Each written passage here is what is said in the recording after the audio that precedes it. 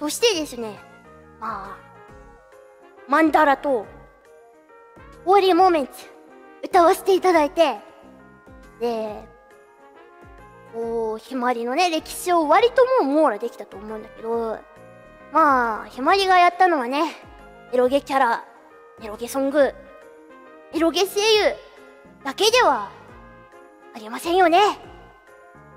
はい、わかりますか？そう、あれです。次の曲、行きましょうかね。聞いてください。ハローショフマップワールド。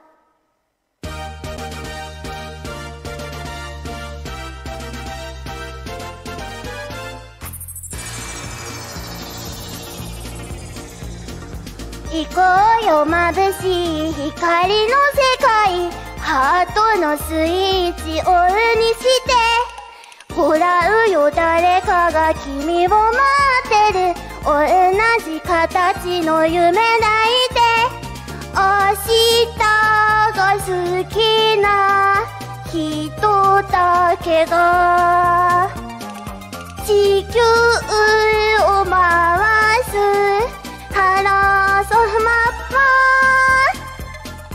言葉はいらない微笑みあればたちまち素敵な友達さ。心と心を響かせ合って愛を歌おうよ Be love so much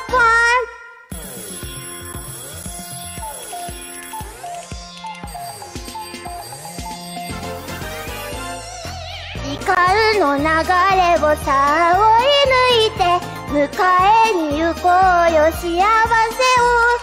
誰にも見えない新しい道。一足お先に走るな。熱い視線の人だけが地球